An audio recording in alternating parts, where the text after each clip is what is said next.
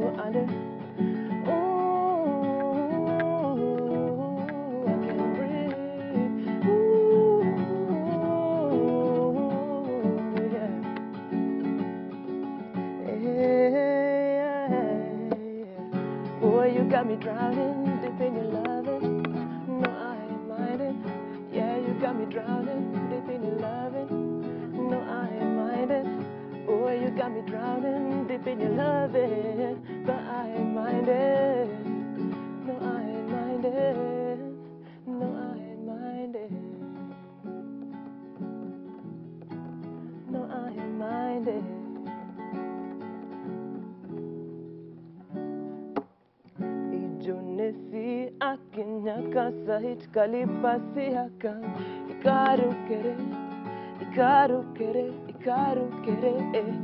aminae ogijo aminae o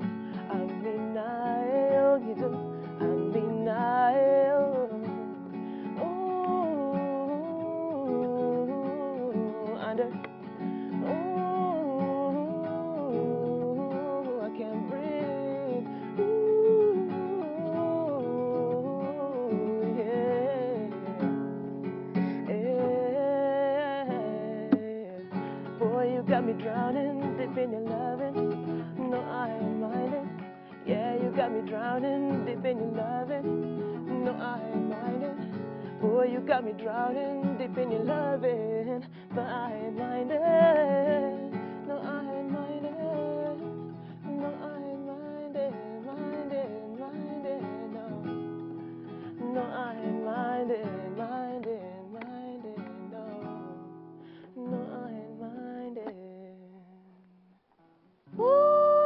Yes, yes, yes. Welcome back to the show. If you are just joining us, this is KTN Life and Style. It's a feel good Friday. I'm your hostess with the mostest, Chandiwe Yego Agola, right here. You sound so angelic. In another life, I was meant to be a singer, but it's okay. We won't go into that right now. How are you feeling this morning? I'm feeling awesome. How are you? I'm feeling good. Yes. Talk to us about the song you just did right now.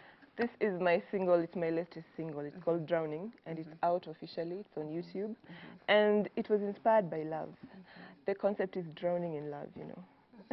Hey, I can tell. You know, there's a lot of emotion in there, even with the title Drowning. Drowning, so when yeah. did you begin this journey? This journey I mm-hmm. began in, okay, professionally, I mm-hmm. started in 2017. Mm-hmm. That's when I released my first single. It's called Milele. Another typical love song over there. It Yeah. seems like you're you're really into the love songs. but there's lots of stories here, I know, to be told. Yep. Lots and lots. Like Milele was inspired by a crush of mine. Okay. Yeah. Drowning. Let me let me get into drowning since it's the latest one. This was inspired. this was inspired by a guy I, I I used to date, and I just felt like he treated me right, and I chose to just appreciate that because you know sometimes we take things for granted, good things especially. So I felt you know with my music that's how I express myself, and yeah, that's how I chose to do it. Mhm.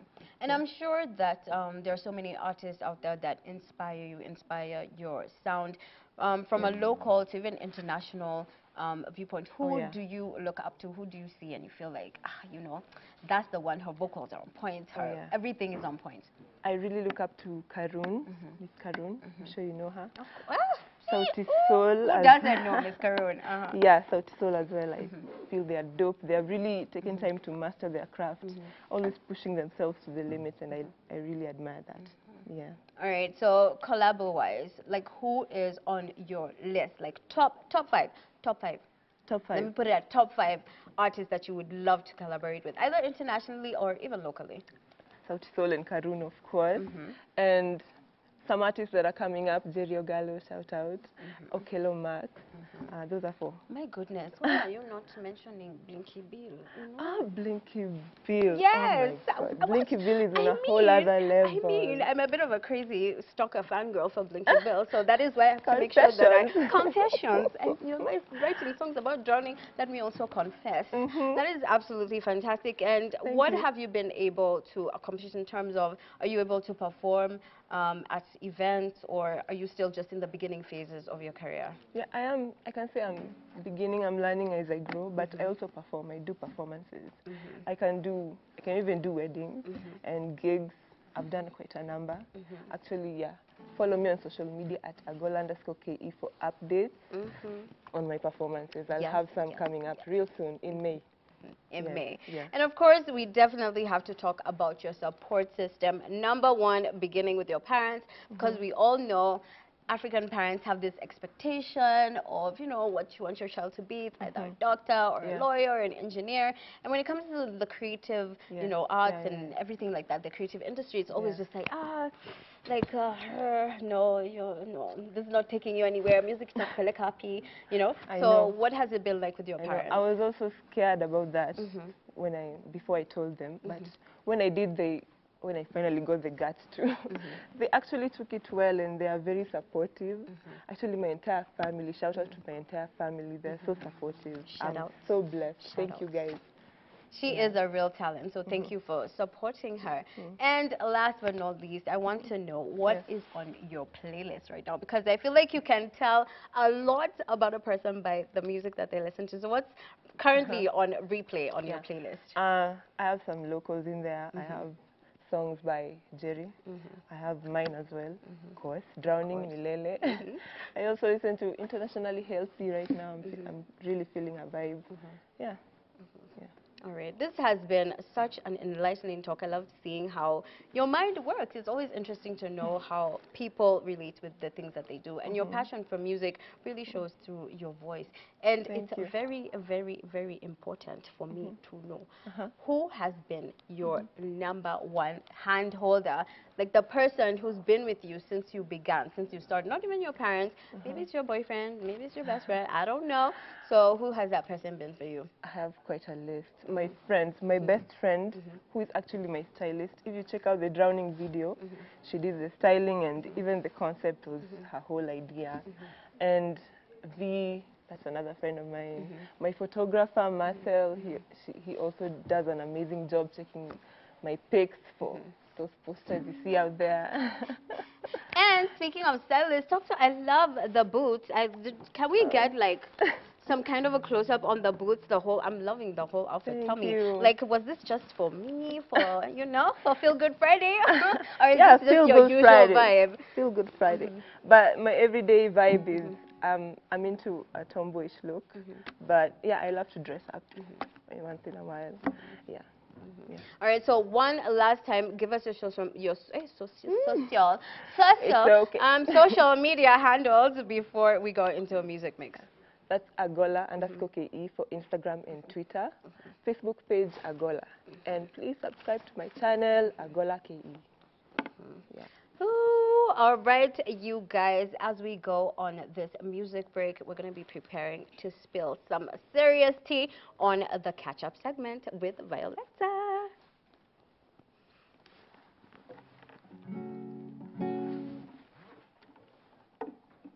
Let's do Milele.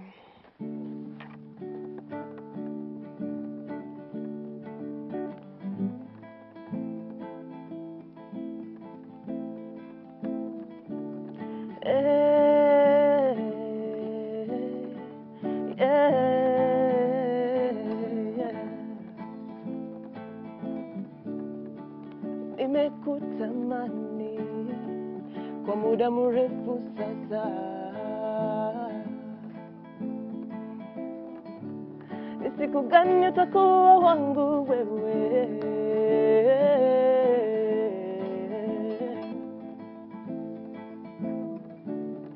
Hujui unachonifanyia baby, no, no, no,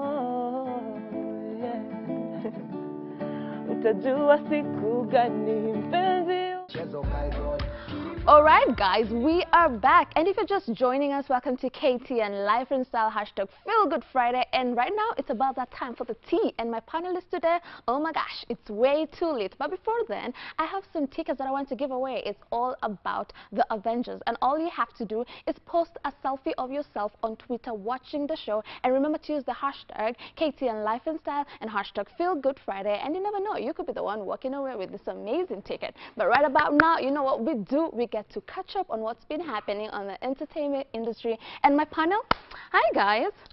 Hey, Y'all hey. look so amazing. So quickly, quickly, introduction from my lady. Um, I'm Joy Kendi. I am a fashion and lifestyle content creator. Cool. Fully focused DJ, producer, event organizer. Maria Kinney, media personality. Yeah, Jinx, radio guy, podcast guy, business guy. All right, so there you have it. And right now, let's get into the story number one, and it's all about Coachella, guys.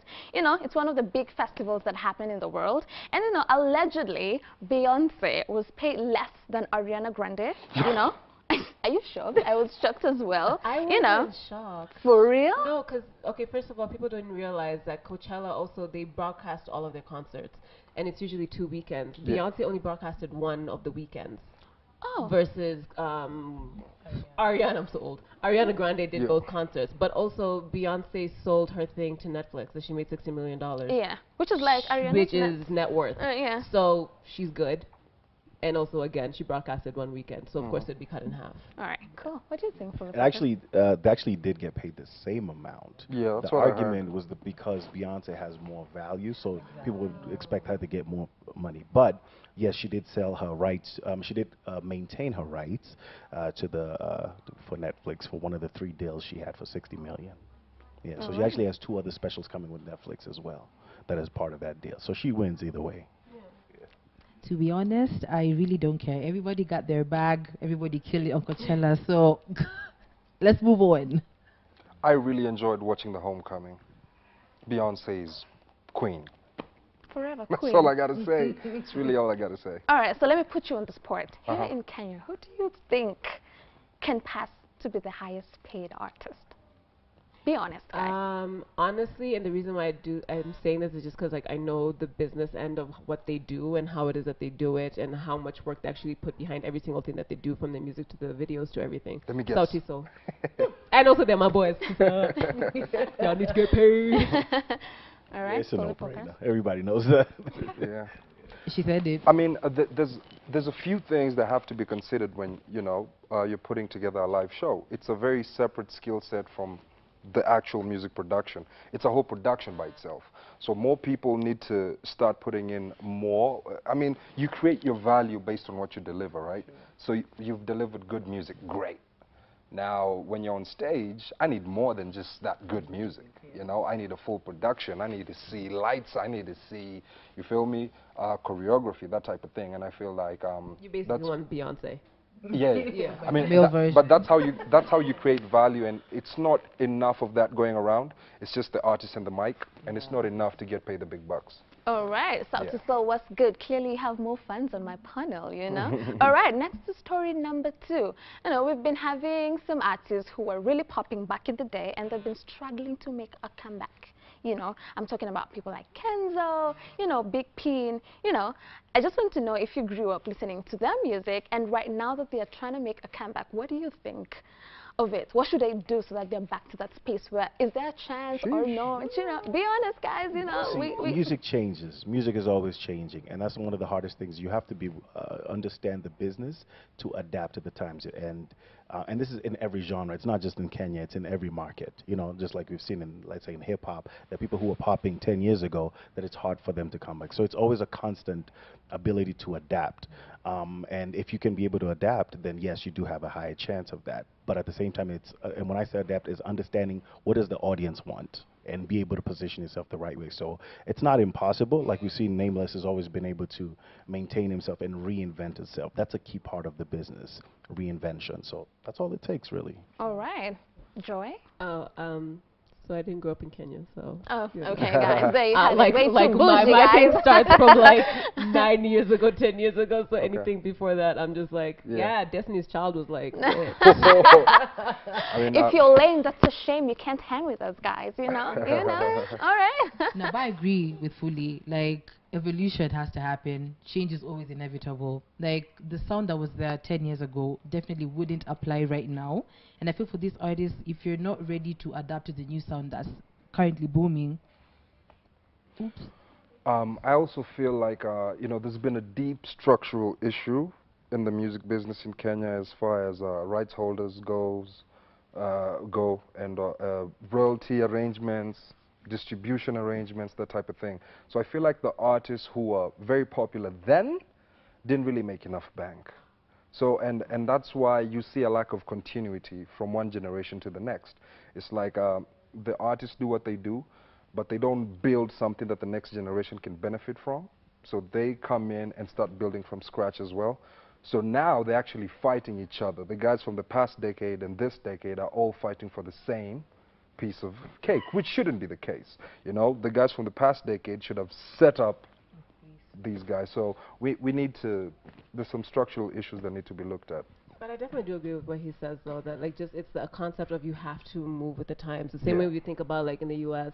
with Snoop Dogg, like he's stayed relevant forever in Yeah. the music industry, but that's just because he understands, like he goes with the flow, as opposed to some people who just decide my way is what's right, so I'm gonna stick it through. And also, I'm not bougie. I used to live in subsidized housing. This, Hey. this is like different. Hey, all right, I'm all not right. She's trying to be modest over here, but it's I'm fine, not being okay. modest. I used to live in subsidized housing. My mom used to work three jobs.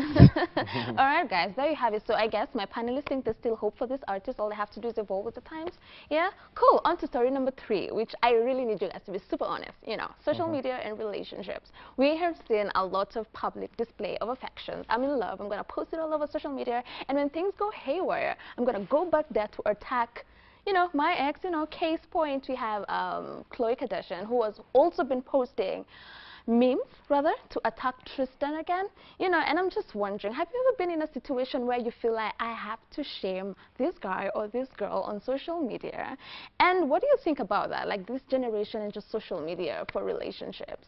What do you guys think? Um, for me personally, I mean, like that's my money, like social media and content creation. But um, I've always felt the like I've always had the belief of what's closest to your heart should always stay personal. I don't feel like you should um, post it out there. But then I feel Khloe and the Kardashians a completely different thing because that is their money. Them like talking about their life and their life is a relationship. So that is their bank. So if that is how you make your living and that's what people like wait for, then you have to do that. But I think on a regular basis, I'm not really a fan of posting anything um, personal, whether it's relationships. Like I rarely, like I talk about my mom, but I don't post photos of her. And the same way even with friends, like I don't have to feel, I don't feel like I need to even write happy birthday on my Instagram page. Like I'll call you and just be like, happy birthday, boo. Like I don't need, like I don't need that. Um, that I, I don't have that need to post everything that happens in my life. yeah. Yeah. Funny thing, some people will post you on social media, and not even call you. Yeah, that's weird. You know, that's so like I would weird. prefer Like, you you know. call me versus Yeah. just being like, "Hey, happy birthday" on on ins- like on Instagram. It doesn't mean anything to me. Like I'm just Alright. like, I guess. Fully focused, have you been a Keep your before? relationships private. Thank Plain you. and simple. We've never seen no Because it- girl from because this the, guy. the, the minute you put it out there, Yeah. it, it, it goes from our relationship to our Everyone, yeah. You know and then people have So opinions. exactly, and now people feel ownership of it. So Yeah. Nah, seeking for validation on social media, that's where everything goes left. Like he said, just keep your personal business personal. Yeah, and you know, I mean, there's a real issue here with uh, you know people chasing instant gratification, you know, getting their dopamine from the likes. So I mean, it's something we need to look at. See how depression is on an all-time high because of social media. So if you just look at those kind of studies, then you just got to figure out how to maneuver through social. It's not. It shouldn't be a diary. You shouldn't like everyone can't access everything about you. Come on. Yeah. But to be honest, I really enjoy when people are posting their drama. I'm just Yeah, I'm that I'm person always too. there, like, no, you no, no, like, I'm I'm that- oh, I am 100% that girl. But then my issue is I can't stand it when people post their entire life and then all of a sudden ask like I need some private time to handle my. I'm just like, mm no, no, no, no, no, no, no, no. Continue. You brought us into your bedroom. I want to be there for the divorce proceedings. I want to be there during the child custody battle. Like you brought us from the halfway. You can't cut it off. You'll you be can't cut lurking it on off the now. Agree. shade room. You'll be lurking on the shade Oh. I am hard on the shade room. I follow Shade Room, Hollywood Unlocked, all of them. But TMZ. no, don't put. Okay, my thing is, I don't care about your life if you don't give me all your information. Yeah. But if you give me all, you like, you're over there with your boyfriend in bed, and you're doing that like constantly. When you guys break up, I want to know why. Yeah. Yeah. what- I, what I got happened? committed. Like we're in this together. This is Instagram why in-laws. you keep your relationships private. Yeah. Because Because of people like people like me, and I know people like me because I am me, which is why I'm quiet about my life. Here we are, Instagram in laws. Hi, and Alyssa. She just got engaged, and she was, you know, we had to know that. So we are also waiting to see how the wedding goes, you know, all those things, right? Aren't you Okay. waiting? so Yeah. who got engaged? Anerlisa and Ben Pol. Oh, congrats. Okay, yeah. cool. Oh, know. shouts out to Anerlisa. Yeah, you know, she's one of those who always lets us know what's happening. They even have their own Instagram page of what's happening. You What, know? like No, for joint- real. No, a joint one. Like a relationship I was thing? curious. Yeah. What happens if you guys Exactly. break What up? happens if you guys break up? Well, clearly the one who was operating that account is fired, guys, and there's no more posting. Yeah, guys. Wow. One more. All Okay. right. keep your Yeah. relationships Okay. private. Yeah. I'm gonna say it again. Yo. All right, so let's take it again back home to Timmy Tdat, guys. You know, Mm-hmm. he just recently released our song. It's a remix to a song, Asante Baba, and he features um, Rosa Ree. And you know, you remember when Sauti Sol released Nishike, and there was a whole lot. Oh my I think it was God. fire. Yeah, it was like too much, and then Ezekiel Mutua came banging, and then I'm just thinking, okay, Ezekiel, do you have anything to say about Timmy Tdat? Have you guys watched the video? Yeah, I think Yes. I've seen a snippet. on What his do you Instagram. Is think? it the one that came out three weeks ago? Yes. Oh, then yeah, I watched it. No, Yeah. not three weeks ago. Two When? days ago. Oh, then I watched. There's the a one remix. Oh. So the oh. original song is quite old, and then there's this remix that she features, you know, Rosa Ree, and it's a I've watched very that. yeah. Yes, two songs. Yeah. It was already this Oh, Keep, man. Keep Okay, now I'm something like that, Okay. and this Asante Baba. Santa Barbara. So I just want to know what you think about the video. Do you think Ezekiel Mutua will come knocking on their doors? Bruh, he's doing the most for real. Like, he needs to chill. Wipe He all needs that to baby chill. bro. Do you think he needs to chill? Do you think simmer Car- every other person? No, but Cardi B's in the U.S. There's a difference. But I also have I have an extremely high threshold for um, things that shock me. So I'm sure, like, I don't think I watched the newest one. I'm sure there'll probably be a two on my like radar. like, Like a five? doing the most. Like he's See, now that you're saying that, I'm so most. ready. Like, what would you say, like, um, Sauti Sol was on a scale from one to ten? Um, hmm, let's see. I feel like Sauti Sols was a bit, you know, there's, okay, no Okay, so offense, one there's, there's a bit of class. If you Okay, wa- so yes. one to ten. T Dad is just straight ratchet, bruh. Like, No, no, but I'm trying to like uh-uh. range. So Sauti Sol one to ten. I'd give it an 8. Okay, and then um, Timothy that. I'd give it like a 10.5. Wait, you thought Yes, you thought Sauti Sol was an eight? I thought that was like a like a, Yes, a solid girl. like four, like, nah, he needs to maybe simmer down. three. and a half. Connected to you guys. We're gonna take a short break, but we'll be right back with more juice, guys. More juice. Stay right there.